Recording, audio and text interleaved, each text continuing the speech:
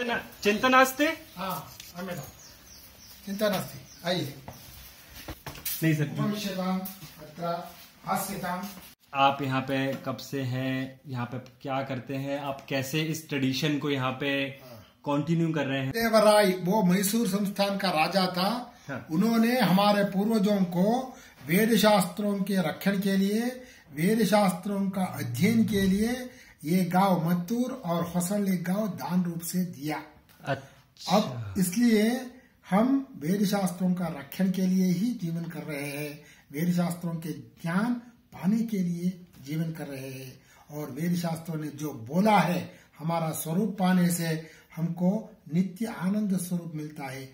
इसको पाने के लिए हम जीवन कर रहे हैं।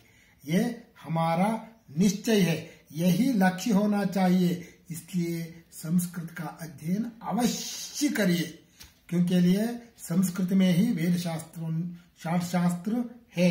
इसलिए वेद शास्त्र का ज्ञान प्राप्त करने के लिए संस्कृत का अध्ययन अवश्य करना चाहिए। ये प्रयोजन किसी अन्य भाषा का अध्ययन से नहीं मिल सकता है नहीं मिलता है। अहम तो स्कैप मध्ये निशुल्कम संस्कृतस्य अध्ययनं कारयामि। So, Skype is the only word that I understood. So I will now ask him. यहाँ बैठ जाऊँ मैं Now I'll ask him to explain what he just said. हाँ, इधर से तो रोशनी हिंदी में बोलो। बहुत है। हाँ जी। हिंदी में बोला? हाँ हिंदी में बोल दी। हाँ।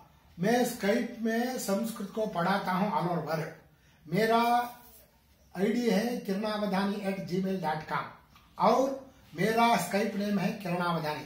निशुल्क मैं संस्कृत अध्ययन कराता हूँ स्काइप में। अभी तक सौ से ज़्यादा विदेशी लोगों को हमारे देश में जो रहते हैं उन लोगों को विदेश में हमारे लोग जो रहते हैं उनको मैं पढ़ा दिया हूँ। इसलिए जो संस्कृत सिखाने के लिए इच्छुक है वो अवश्य स्काइप में मीट कीजिए। मैं अवश्य संस्कृत में, संस्कृत का अध्ययन कराता हूँ सदा इच्छुक है संस्कृत प्रसारण के लिए। क्योंकि लिए? संस्कृत का अध्ययन से जो बड़ा प्रयोजन है, ये परमानंद मिलता है, नित्य आनंद मिलता है। हमारा जो जीवन का कष्ट, दुख, सब कुछ परिहार होता है और जन्म मरण से मुक्ति मिलता है। इसलिए संस्कृत का अध्ययन हम अवश्य कराते हैं। तो मुझे ये बताइए आज अभी अगले दो मिनट में।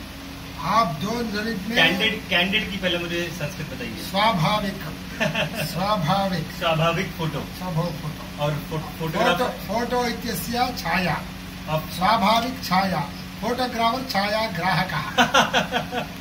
अच्छा तो छा- अभी दो छाया ग्राहक का खड़े हैं हमारे हाँ समीचीन छाया ग्राहक दो छाया खड़े हैं। दो छाया ग्राहक? हाँ, उनको उनको मैं दिखा देता हूँ हमारे जो दो छाया ग्राहक का है। हाँ, ये पहले छाया ग्राहक का हाँ, गोपाल हाँ, जो कैमरा से बाहर ही नहीं आ पा रहे हैं। ये दूसरे छाया ग्राहक का Subramanyam. Subramanya Subramanyam it was really really good meeting you all तो आपसे और बातें होती अच्छा है आपका नाम?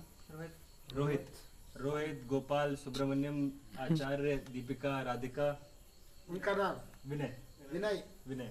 हाँ okay Prateek no wonder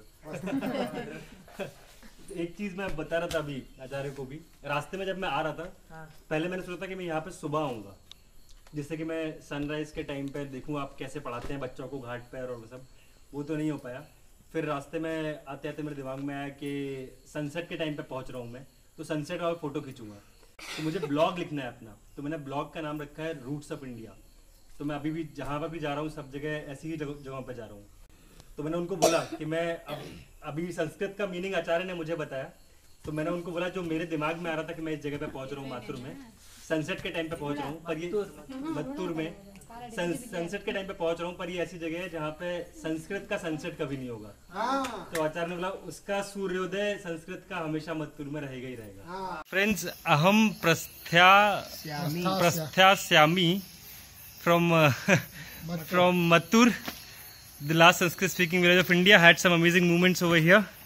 Thank you, Acharya, for hosting me. अस्तु It was really fun meeting you all. अस्तु बहुत बहुत मज़ा आया कुछ संस्कृत के दो तीन स्टेटमेंट्स मैंने सीखे एक्चुअली सीखे। अस्तु अष्टु मतलब?